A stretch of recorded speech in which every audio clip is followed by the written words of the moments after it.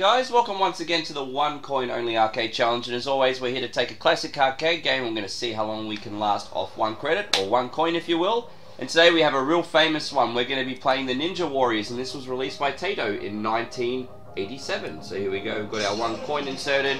And we're going to have some fun actually. This is a great game and uh, it's a real shame. This is another one that I didn't play a lot in my childhood. It's more something that I played in my adulthood but I'm glad I finally uh, came across this game now what's really unique about this is it's got this uh, very, uh, as I said, very unique widescreen resolution.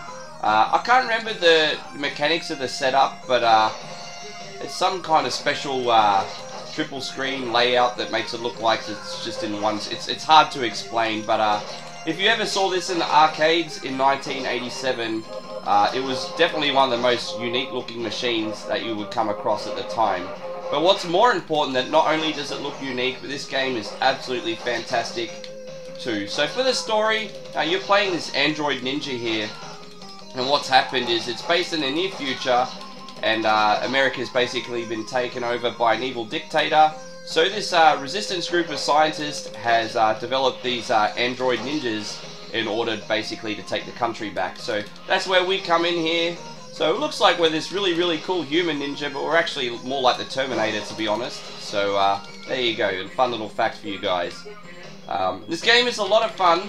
Uh, what I really like is the graphics. They're very, very far ahead of its time. Uh, the, the, environments all look run down, post-apocalyptic like. They look absolutely fantastic. Definitely add to that. Even the backgrounds behind the fences, you can see all the buildings there and stuff. It's just a nice scrolling game. Um, the sound effects are absolutely amazing in this too. I love the backing soundtrack. Uh, you know, I, I, think Taito kind of dropped the ball in the end when, in the sound department later on in their life, but uh, in this game, or in the 80s in general, their soundtrack's always really amazing, and this game is no exception.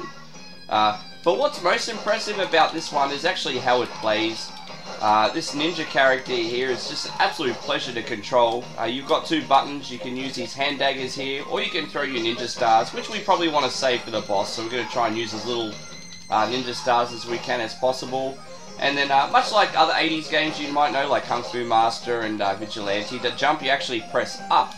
Now, in most games, uh, up button to jump is actually a pet peeve for me, but this character just controls so well, it is not an issue at all. This is definitely one of the smoothest games I have honestly ever played from 1987. It is absolutely fantastic, and if you've never played it before, you absolutely have to play the Ninja Warriors, and uh, especially if you're fans of games like uh, Ninja Gaiden or Shinobi, it's every bit as fun and challenging, even though it's more of a side-scroller than a, a platformer. Don't let that deter you from the game. And you can also see we've got the display on screen below. We've got the one up in our uh, health meter in the bottom of the screen. We're sitting pretty with health at the moment, which is pretty good. Um, next to that, it tells us how many ninja stars we've got left. Now, I'm not sure if you can pick them up as you go along. I can't remember. Hopefully we can. Because uh, the first boss itself is pretty OP. And uh, you're definitely going to need these stars because uh, the levels go forever until you meet up with a boss. And uh, you're going to use a fair lose a fair chunk of health, I think, before you get to him. So, anyway, carrying on here. Lots of running dogs coming at you. Always something happening in this game, much like you'd expect in an unforgiving 80s uh, video arcade game, that's for sure. There we go. I think we're getting pretty close to the boss now. I do remember when these uh, dogs or whatever they're supposed to be come on the screen, we're pretty uh, close or nearby, whatever.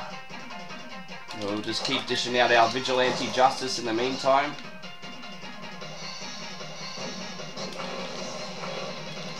See, it's uh, really interesting, the storyline, as I mentioned before. It's hard to tell if, um, oh, I suppose technically I'm a good guy because uh, the government is a, an evil dictatorship now, but, you know, also technically it's treason, so the storyline's pretty conflicting in a way, isn't it? anyway, is that one level done? Carrying on? Awesome. And we get all the bonus points for having bonus health too. That's great.